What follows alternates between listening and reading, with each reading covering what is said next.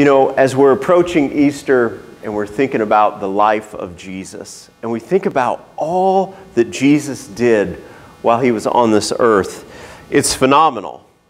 But then we also think about how he said that we would do yet greater things. And there is nothing like being used of the Lord. If you have come to know the Lord and you've been used of Him in some way, I mean, there's nothing like it because it is eternal stuff. And I mean, it makes you feel unbelievable. It's like a life that you can't experience any other way when God uses you. When He speaks through you, or He has you pray over someone and there's something that happens, there is nothing like it. And God wants us to experience that. And God wants us to know um, how much He values us, how much He loves us. That's why He died on the cross. But I also want to share something else this morning. There's a danger in being used of the Lord.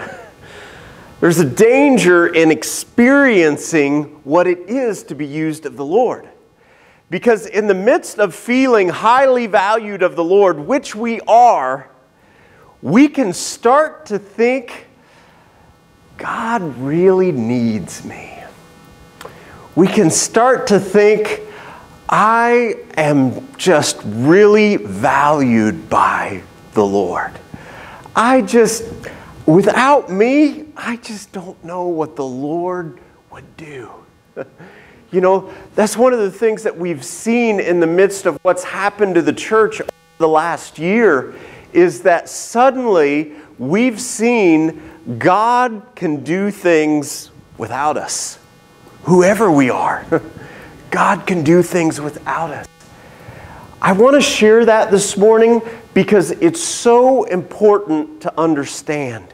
Because in the midst of having God use us and being excited about that, there's a subtleness that can happen there that we can be drawn away from the Lord. And that's what I want to talk about this appearance of good, this appearance of being used for good things, but becoming so focused on those good things that we forget to really focus on God and honor Him. You know, as I'm saying this right now, I'm thinking about Moses, and I've been reading through Deuteronomy lately, and you think about how God used him so powerfully, but then there was that moment where God told him to make him holy before the people and to bring forth water from the rock. But instead of doing it the way that God said, he takes his staff and hits the rock and says, basically, Here you go, you bunch of rebellious jerks. You've been whining, so I'm going to give you water. Instead of really honoring the Lord. Because Moses, after being used of God, he subtly stopped pointing the attention to God and he started thinking highly of himself. You know, when you look in Scripture, almost everyone that is used powerfully of the Lord reaches a time where God humbles them because they start to think so highly of themselves. And you know what? Sometimes the humbling can even come after death. You know, one of the things that we've seen recently, some of you may be aware, some of you not, but there was a person who died this last year who had a powerful ministry. His name was Ravi Zacharias. He had an international ministry. I mean, it was super powerful. It had impacted my life in, in many ways. Um, you know, when I would listen to many of the teachings that came through that ministry, you know, one of the things that always grabbed me is that he had a powerful team of ministry. But you know, whenever I would hear the other team members speak, it was always good. But when Ravi would speak, I mean, there was a gifting and an anointing that would come out of him. I mean, it was powerful.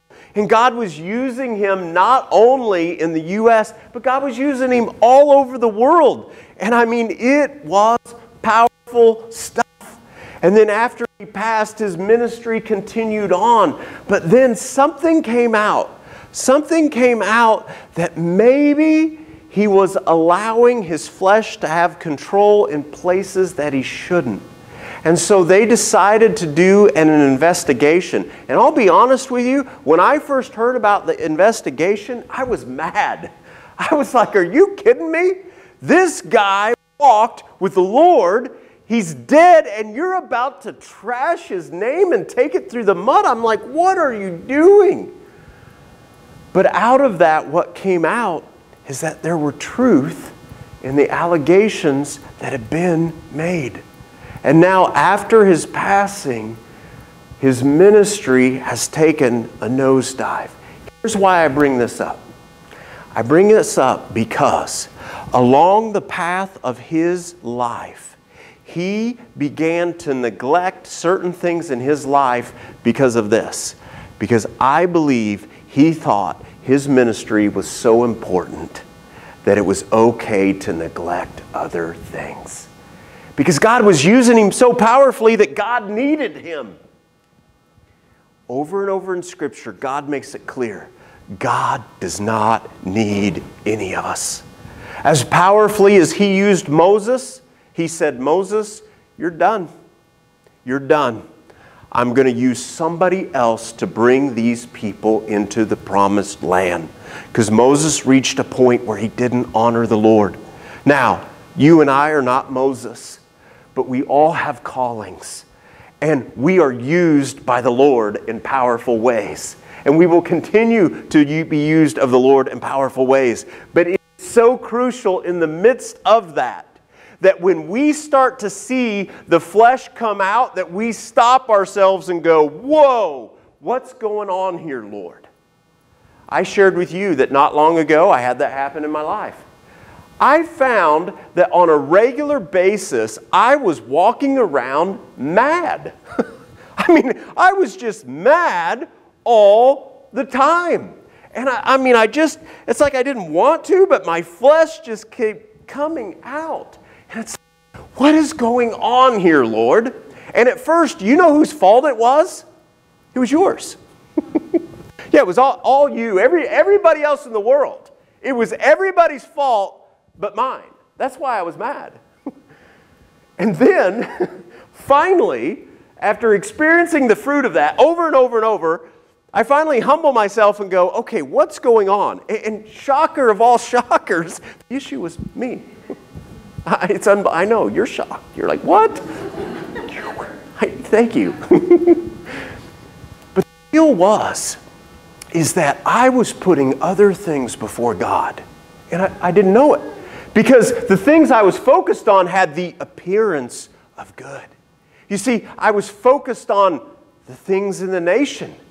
I was like, are you kidding? I got to make this stuff right. I got to fight for this stuff. And so instead of being focused on ministering to the people in front of me, I'm thinking about the person I went to high school with that lives about six hours away from me, and they're putting stupid stuff on Facebook. And they're saying stuff they would never say to my face. Because they know I would not just stand there. But yet, six hours away, man, they're just letting it roll. so I'm thinking about what that person needs and, you know, how to straighten them out. And I'm mad. And instead of expressing that to them, I express it to my family. you know, it's like kicking the dog because, you know, you're mad at something. And what God began to show me is that in actuality, I was more concerned about the comfort of my American life than I was the kingdom. Instead of being concerned about growing the kingdom and whatever it took, even if it means an oppressed, uncomfortable American life, I was putting the American life above Jesus and above the kingdom. But that was a hard place to get to. And it took really reaching the brink of just, honestly, just wanting to give up ministry to get to that point of, okay, something is wrong. So before we get into the word this morning, I, I just want to say this. If you're walking around through that, if you're having, you know, anger, anything of the flesh, fears, lust, whatever it is, if you're having regular stuff come out, that probably means that you are focused somewhere that's not on the Lord, even though you think it is, even though you think it's something good. You're, you're, you're probably not focused on the Lord. You know, I think of um, Jesus and when he spoke to the Pharisees, and if you've been reading through Mark, that's where we're reading through as a church right now, as we're reading through Mark as we're approaching Easter. You know, one of the, one of the uh, chapters we read through in Mark this week talked about Jesus confronting the Pharisees because they were all up in arms about Jesus and his disciples not doing the ceremonial hand washings and, you know, the traditions of the elders. But what Jesus said was that what in essence, they were doing is that they were using those outward things to focus on so they didn't have to focus on the real issues of their heart, which was full of ugliness. And you see, what I found is I was doing the same thing. I was focused on other people's issues. Why? Because then I don't have to focus on me. I don't have to focus on this stuff because this stuff gets ugly. It's way easier to get mad at you for your stuff and to focus on that than to look at this. But this is the only way that I find healing, and this is the only way that I can really be used of God. Because otherwise, I become like the Pharisees. Were they being used of God? Mm-mm. They thought they were. They thought they were, but in actuality, what were they doing? They were coming against God, and they would eventually kill the Son of God. And the whole time, they think they're doing it for the Lord. So I just want to say to you if those things are coming out of you, if those flesh things, there's probably some redirection that needs to happen. All right, I want to look at an example of this in Scripture. Uh, the place I want to go to is 1 Kings chapter 11, and we're going to look at the first 13 verses of that. So, what we find in the context here before I read is we're going to be talking about King Solomon. King Solomon was the son of King David, and Solomon was impressive. I mean, Solomon got it in ways that few of us do. You know, one of the times that the Lord appeared to Solomon, he said, Solomon, what do you want? I'll give it to you. And instead of Solomon asking for things in this world, he asks for wisdom in order to serve others. This guy gets it. His life is not about himself, his life is about others and serving them. And so God blesses him with that. And because he's so focused on the Lord, he gives him all the other stuff that he didn't ask for. But here's the problem. As wise as Solomon was, and as we see that he was focused on the Lord, he started to think that he could handle things that he couldn't. He started to think more highly of himself than he should. Let me go back to Ravi for a second. One of the places where I believe Ravi messed up, he was going all over the world sharing the gospel. But from what I understand, his wife wasn't with him. He thought that he could handle that. He thought that that would be okay. But I think what he found is that he couldn't. And then eventually, he kept getting deeper and deeper because anytime you, you step into sin, it's embarrassing. And so you're like, ah, well, I'll get this taken care of myself. But it drags you in deeper, and you're like, oh man, this is getting ugly. But I'm still good. I can, I can get out of this. I can get out of this. And then before long, we're so deep, we're like, I can't do anything about this. I, I mean, if I, this, this will, you know, shatter everything. Uh, and so we, we just never seek help. Well, in the same way, as we go to King Solomon, what we're going to find is we're going to find someone who thought he could handle things that God had warned him about. Because after all, this is the wisest man in the world. This is the one who, when God came and said, I'll give you anything, he used it to serve others. Surely, surely Solomon can't fall. Surely you and I, as much as we know the Lord, we can't fall, can we? We can't be pulled away. Surely not. I mean, because we, we've experienced the Lord, right? Well, let's see what happened to Solomon. Verse 1. Now, King Solomon loved many foreign women. He, he, he didn't say he hated, he loved. Love is a good thing, is it not? How many songs have we heard? All we need is love. Well, this guy loved.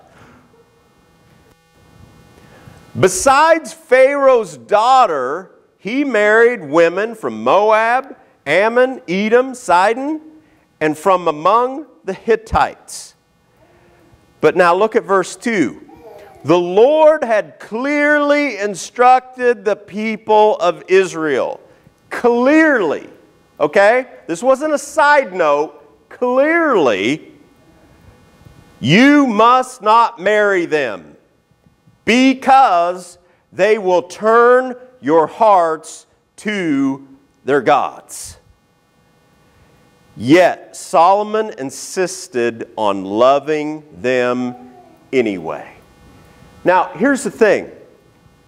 When you look at this, there's a mixture that's going on.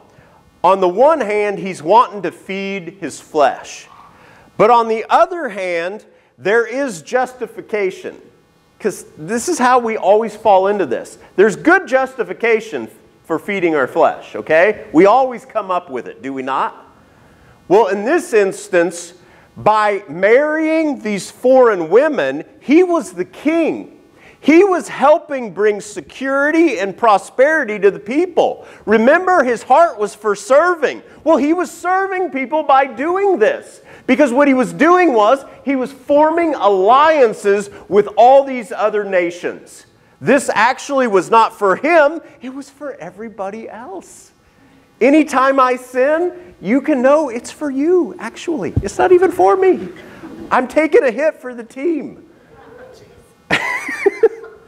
That's what Solomon was doing. I guarantee you that that was the thoughts that came through his mind and the minds of others that he sold them on. Listen, this is for everybody. We, we need to bring security. I'm the leader of the nations. The more marriages I have with foreign nations, they're not going to attack us. They're going to become our allies. They're going to support us. I am actually serving God's people by doing this back to Ravi. Again, what was he doing? He was on the road all the time away from his family. And what was he doing? He was spreading the gospel. I mean, come, people are coming to the Lord. He, is be, he, is, he was given um, access to all kinds of powerful people that did not know the Lord. Those people come to the Lord, well, they've got the potential to lead nations to the Lord. This was important stuff. He does not have time to play house. God needs him. That's what he's thinking. And so he continues to go and to go. And because of that, he turns from his family, but the result is, is that he would end up falling. He would end up falling in such a way that would bring the house down. Solomon, same way. Solomon thinks, No, I'm good. And at first, you know what? I'm sure he stayed strong. And as we're going to read in the passage, that's what it appears to say. He keeps focused on the Lord. He makes these alliances with the other nations by bringing in foreign wives, but he stays focused on the Lord. The enemy's end game is not for today or tomorrow. The enemy's end game is years down the road. He wants you to take little steps today. He will never get you to take big steps, okay? I mean, if he can, then he'll go for it, but most of you are not going to do that. But what I will do is, I'll do, I'll do a little side step if it appears good, okay?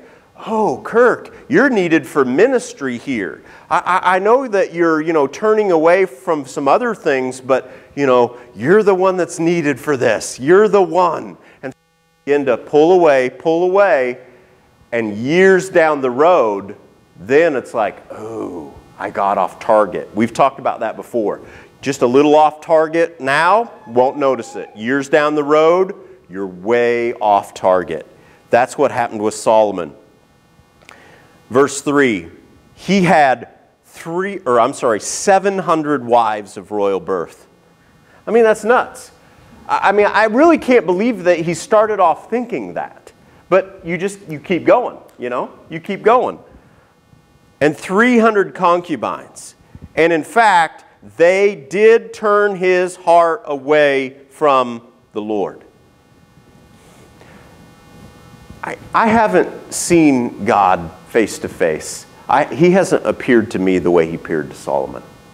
I, I mean, this is phenomenal that God would appear to him not only once, but twice.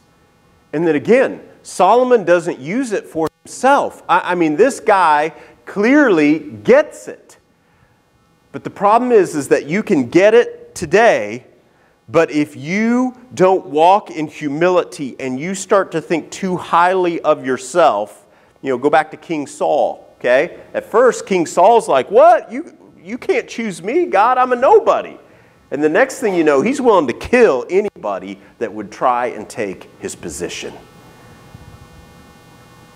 You can become a completely different person if you don't walk in humility, keep your eyes on the Lord. Verse 4 In Solomon's old age, they turned his heart to worship other gods instead of being completely faithful to the Lord his God. I mean, I really think he was doing good at first. You know, and as the years go by, I'm good. I'm still focused on the Lord. But then what happens? It keeps wearing, it keeps wearing, it keeps wearing. You're in a family situation, okay? You're supposed to love these people, you're supposed to provide for these people, and they keep uh, ignoring your God. They keep focusing on this other God. And, and, you know, you have a heart for them, you're connected to them, you want to, quote, love them. And so what happens? You slowly start to want to please them. Well, what if pleasing them means going against the Lord? Well, at first he would have said, No way. But you know what? Years down the road, you get worn down, do you not? I mean, how many of us have complained that the youngest kid gets away with way more than the oldest kid? I mean, why? Because parents get worn down. I mean, do we not? I mean, I look at some of you parents who have the little kids now, and I'm like, how did I ever survive that? I, I mean, it, it, we get worn down. But Solomon wasn't thinking about that in the beginning. He thought he had this. Sol- verse 5 Solomon worshiped Ashtoreth, the goddess of the Sidonians, and Molech, the detestable god of the Ammonites. In this way, Solomon did what was evil in the Lord's sight. He refused to follow the Lord completely as his father David had done. And that's what we see in our American culture. Even for those who bring God in, God is added to everything else. God is not satisfied with that. God is either the only one or he is not your God. He will not be added in to all these other pursuits. And again, what happens is, I think we start off with, you know, when you think of Solomon, I'm sure he gave in a little to one, and then before long, well, he's got to give in to everybody because he's got to make it fair. So before long, he's building monuments and whatever else, altars to all these gods. Why? Because he did it for one. You got to keep on doing it. He started down the path, and the further down the path he got, the further harder it was to turn away. Verse 7 On the Mount of Olives east of Jerusalem, he even built a pagan shrine for Chemosh, the detestable god of Moab, and another for Molech, the detestable god of the Ammonites. Solomon built such shrines for all his foreign wives to use for burning insects, incense, not insects, and sacrificing to their gods. The Lord was very angry with Solomon for his heart had turned away from the Lord, the God of Israel, who had appeared to him twice. He had warned Solomon specifically about worshiping other gods. But Solomon did not listen to the Lord's command. Now, again, God had warned him specifically. How does he go against that? Well, again, it didn't happen the day after God warned him, because at that point, those words are loud in his mind. But here's what happens As time goes on, he keeps hearing the words of his wives over, over, over. And there's more and more distance between what God said to him. And he just keeps further and further away. I mean, again, it doesn't matter what you've experienced with the Lord, it doesn't matter what you've heard from the Lord. If you start opening yourself up to other voices, it's eventually going to take over. You know, again, this is what I shared. The Lord showed me I had to come to a point where I had to shut everything else out, all of social media. I had to shut the news, I had to shut it all out because I was in a place where I had to completely refocus. Now, Where's the, is the Lord going to let me open some of those doors back up? I don't know. But right now, as of today, unless you tell me something that's going on, I don't even know. And you could say, oh, Kirk, that's so bad.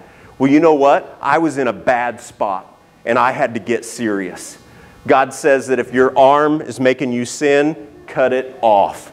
Get serious. And that's where I had to go because I was absolutely filled with anger. I was walking in the flesh and I didn't know how to get out of it.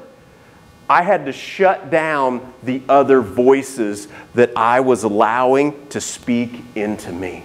And I had to begin to realign myself with the voice of God and hear His voice.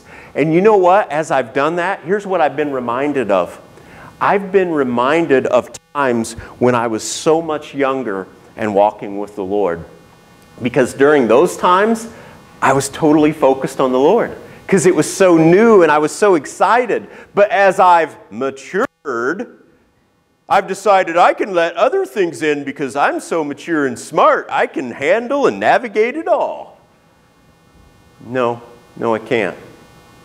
In many ways, I'm the same person who first came to the Lord. And that's where I need to say, stay.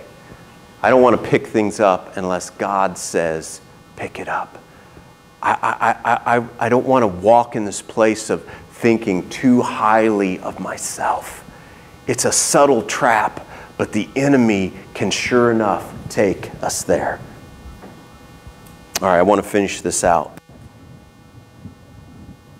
Verse 11 So now the Lord said to him, Since you have not kept my covenant and have displayed disobeyed my decrees, I will surely tear the kingdom away from you and give it to one of your servants. But for the sake of your father David, I will not do this while you are still alive. I will take the kingdom away from your son, and even so, I will not take away the entire kingdom. I will let him be king of one tribe for the sake of my servant David and the sake of Jerusalem, my chosen city. The consequences for Solomon were huge.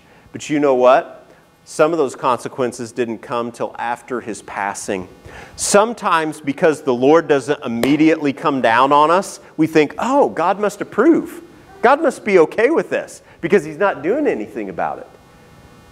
Don't misjudge the Lord's mercy and grace for not bringing about what is just. God will bring about what is just.